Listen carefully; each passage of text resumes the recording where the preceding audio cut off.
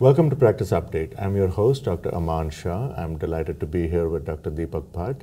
Uh, Dr. Bhatt is an advisor to us, and he is a professor of medicine at Harvard and at the Brigham and Women's Hospital. Welcome, Dr. Bhatt. Thank you. So, you have published some really important research recently on triglycerides, and I wanted to get a sense of how you view triglycerides in cardiac disease. Are they causative of disease? Great question, and there's been a lot of discussion and controversy on this point for years. So first I would say it's important to realize that triglycerides are a potent independent risk factor risk marker. Uh, so if someone has elevated triglycerides versus someone who doesn't, they are at elevated cardiovascular risk, independently of diabetes, obesity, things that tend to be also associated with high triglycerides. So high triglycerides, that identifies a patient's at increased risk. Now then, is it actually a causal risk uh, factor or is it just something that can't be modified? It's a key question, modifiable or non-modifiable?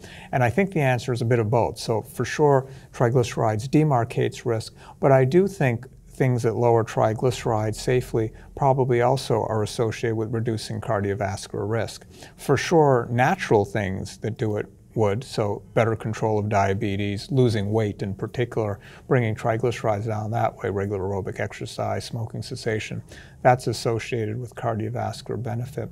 And it does appear that triglycerides are causal. Recent Mendelian randomization studies show that, and those are, in case anyone listening isn't familiar with, that's nature's randomized clinical trial. That is, people are born with genes that may be associated with elevated triglycerides versus people that are born with genes that aren't.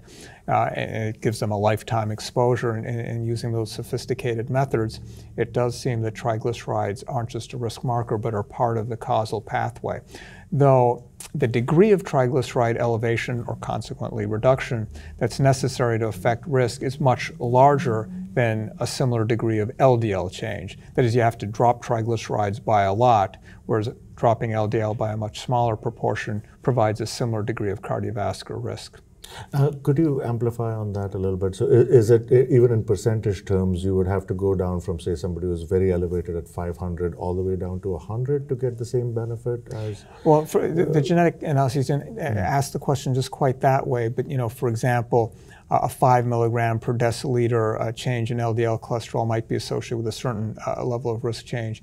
You know, you might need a 20 milligram per deciliter uh, change in triglycerides to get that sort of change, or actually, in fact, even more than that. So it just means that, um, yes, triglycerides are associated with risk, but just lowering triglycerides a little bit pharmacologically probably wouldn't be expected to have the same degree as the same milligram per deciliter reduction in LDL cholesterol.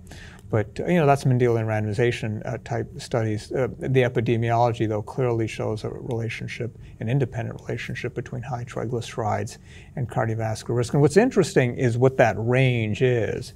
Uh, I think it'll be a situation where we look back years from now that's analogous to LDL cholesterol, where mm. we kept dropping what normal is. And you know, with triglycerides, um, they do tend to be more variable, e even when in a fasting state, but probably a better way of assessing a triglyceride level in a person isn't just one measurement, but you know a couple of measurements and averaging out.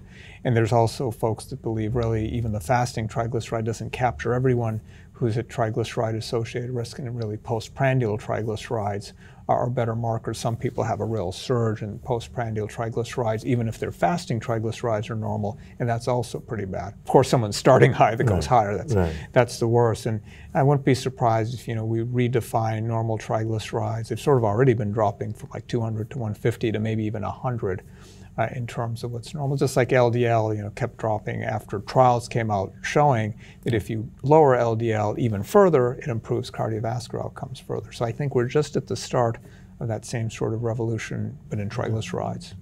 And in clinical practice, uh, do you then try to set a target or do you try to just reduce it and keep monitoring the patient and then seeing what the outcomes are? It's a terrific question. What do you do about it therapeutically? So, sort of the first steps are make sure that the patient's weight is appropriate. If not, weight loss would make sense. If they have diabetes, better diabetes control. Smoking, stop smoking.